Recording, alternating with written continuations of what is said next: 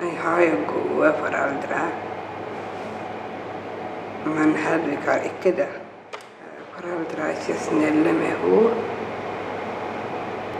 De bare lyver.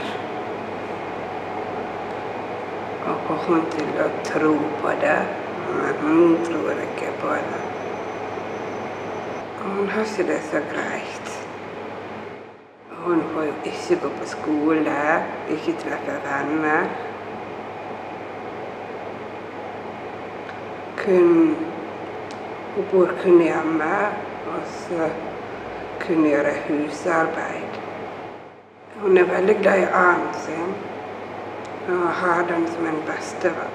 Hun hører ikke på Gregers. Det hun merker at han lurer henne.